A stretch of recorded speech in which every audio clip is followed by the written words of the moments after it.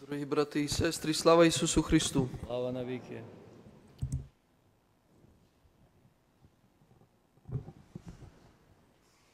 Коли хрестимо маленьку дитинку, то ще на початку у притворі храму, одразу при вході, чин святої Тайної хрещення починається із того, що над дитинкою читаються так звані молитви заборони або молитви екзорцизму. Ми добре знаємо це слово, екзорцизм йдеться про вигнання Злого Духа. І перше запитання, для чого над маленькою дитинкою, котра ще жодної свідомості не має, нічого у своєму житті не встигла зробити, як вона пустила до себе диявола? Чому над нею треба читати оці молитві заборони, де йдеться про те, щоб виганяти Злого Духа, котрий скривається і причаюється в її серці? Але правда є такою, дорогі брати і сестри, що диявол він завжди пробує причепитися до нашого із вами матеріального фізичного світу. Диявол, котрий потерпів краху у своєму духовному світі, і там став переможений у духовному світі разом із своїми нечистими силами, він пробує своє царство побудувати на землі. І тому працює 24 на 7 над нами і з вами. Для віруючих людей це абсолютно ясно.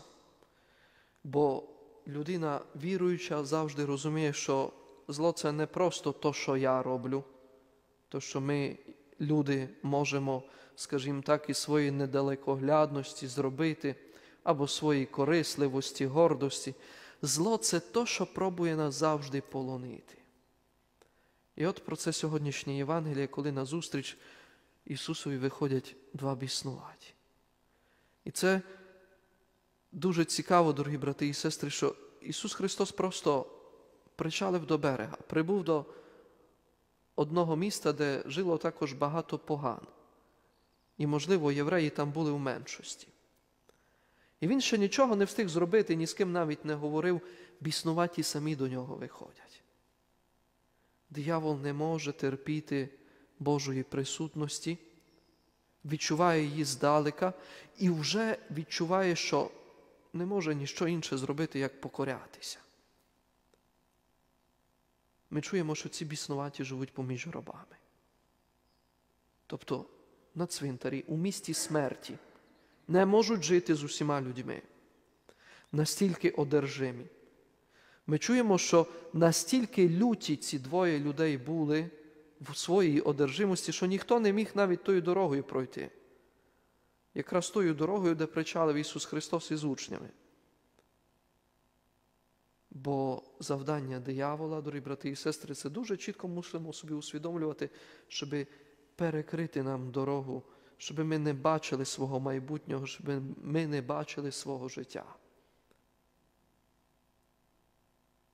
Ось саме до цього диявол максимально старається, щоб людина не хотіла жити, щоб їй нічого не цікавило. Але окрім того, що тут одразу бачимо, відбувається вигнання Злого Духа, є дуже багато цікавих деталей. Найперше, те, що диявол визнає Ісуса Христа Сином Божим, питаючися, чи ти прийшов передчасно нас мучити, чи не занадто скоро ти прийшов. Отак завжди, дорогі брати і сестри, коли людина навертається, то диявол цього моменту боїться. Бо вона зрозуміла, що її життя має сенс, коли вона буде жити із Богом. І от цього моменту диявол боїться і потім старається, як би можна краще тягнути людину ще ну, хоча б до менших гріхів щоб вона застрягала хоча б у малому злі, але щоб все ж таки не слідувала за Ісусом Христом до кінця. Ось чому так важливо, щоб християнин був свідомий того, що має жити завжди у таїнствах, бо лише в присутності Божій може справді того диявола до кінця перемагати. І коли каже, ти вже хочеш нас вигнати, знову ж таки, дорогі брати і сестри, дуже цікаво, диявол говорить перший. Ісус Христос ще нічого не сказав.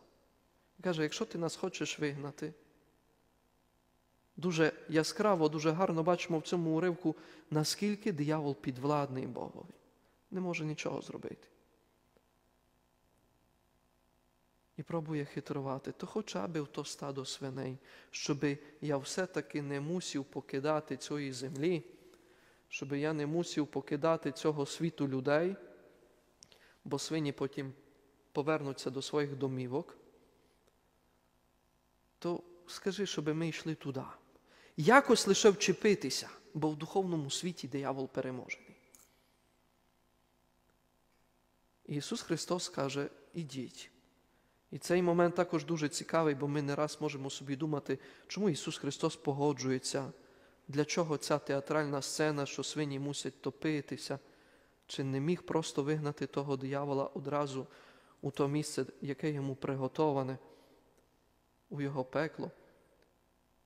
Але насправді, дорогі брати і сестри, Ісус Христос просто хоче показати, в першу чергу, тим пастухам, котрі потім біжать до міста і говорять іншим, що зло, воно пробує завжди в нашому житті хитрувати. Диявол пробує нас обманути, коли, нас, коли ми визволяємося від одного гріха, пробує нас зловити на іншому. Але кінець кінцем диявол ніколи не є мудрим сотворінням. Він до того хитрується, що сам себе нищить. Саме тому Ісус Христос дозволяє, знаючи, що свині оці і так життя не будуть мати, диявол сам себе знищить, бо вони стрибають у безодню, у морські хвилі. Зло завжди прямує до самознищення. І це Ісус Христос хоче чітко показати, щоб людям було зрозуміло. І коли ми чуємо, що ціле місто виходить і просить Його, щоб відійшов з їхніх околиць, ну тут, дорогі брати і сестри, напевно, найцікавіший момент сьогоднішнього Євангелія. Бо Ісус Христос вигнав диявола із двох біснуватих, але на тому місці ціле місто сказало йому, іди із наших околиць. Бог виганяє диявола, а ціле місто виганяє Бога.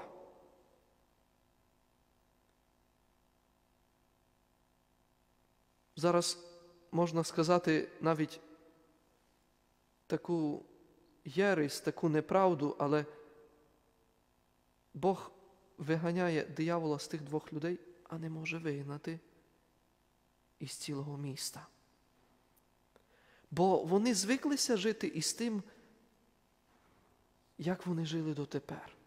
Тут навіть можемо собі поставити запитання, то хто тоді біснуватий? Ці двоє чи всі інші, котрі навчилися жити без Бога і зараз їм Бога не треба. Дорогі брати і сестри, ми звиклися із тим, що зло воно себе проявляє у такому яскравому, нищівному світлі, що зло воно завжди потворне. Але подивімося на те, яка культура зараз насаджується у нашому світі щодня. Скільки у тій культурі є речей, де диявол старається сховатися так, щоб це було непомітно. Недавно закінчився так званий місяць прайду, де нібито виступається за людську гідність, бо можна любити так, як ти хочеш. А чому один чоловік і інший чоловік не можуть собі завести дитину?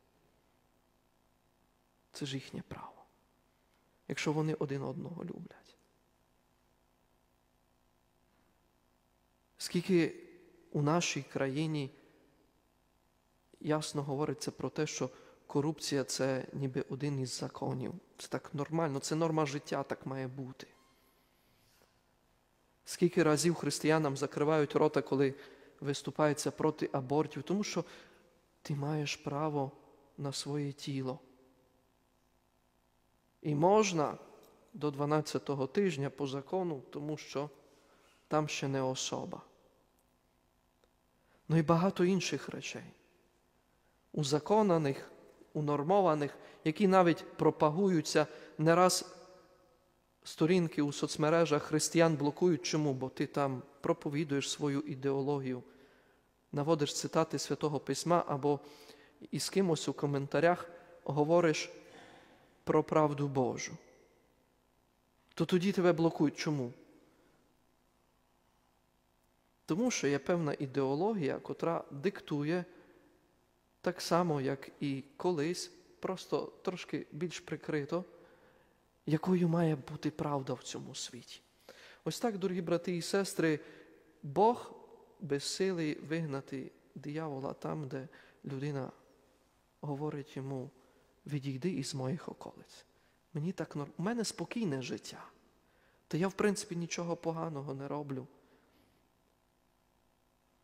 Ну, ми так говоримо зараз у глобальному сенсі, але дуже часто, дорогі брати і сестри, людина живе без Бога і, і просто тішиться тим, та я нічого поганого в своєму житті зробив, у мене гріха немає. І не бачить, що диявол її полонив уже тим, що вона ніколи в своєму житті свідомо навіть одної молитви не промовила. Але я нічого поганого не роблю, я так собі живу. Я нормально живу, добре, що ж тут такого? Але там, де приходить Ісус Христос, там кожна людина мусить із Ним рахуватися. І кожен, кожен із нас робить цей вибір. Тому дуже важливо, щоб ми, християни, бачили диявола навіть там, де він пробує, так як це є в молитві на чині хрещення, притаїтися, причаїтися, щоб тихенько робити свою справу, свою справу у суспільстві. І це страшно справді, коли навіть Бог безсилий, бо ми чуємо, що Ісус Христос без жодного слова сідає собі в човен, пливе знову до іншого боку, до свого міста Капернаум. Це дуже часто, дорогі брати і сестри, також є для нас прикладом, а що робити, коли людина ніяк не хоче нічого чути про Бога, про Божу правду. Ну тоді ти мусиш знати, якою є твоя дорога. Це велика мудрість нас, християн. Ми мусимо бути свідомі, що часом, і дуже часто багатьом людям не можемо допомогти. Думаю, що кожен із вас це пережив, що один раз ти зробиш якусь добру справу і ти з того задоволений, а другий раз ти бачиш, що людині то не треба, ну і кажеш, я не можу йому допомогти, бо він не хоче, щоб я йому поміг. І тоді справді, дорогі брати і сестри, знову ж таки повторюю цю єресь, а навіть Бог безсилий. Навіть Бог безсилий зробити з тою людиною щось, коли вона не хоче бачити жодної правди, кроме своєї. Молімося, дорогі брати і сестри, щоб ми бачили завжди диявола в лице, щоб ми його добре пізнавали там, де ми є, щоб ми добре знали, якою є натомість наша дорога, і щоб ми своєю молитвою, своїми ділами проводили завжди екзорцизм на тому місці, де ми є. Бо кожен із нас живе в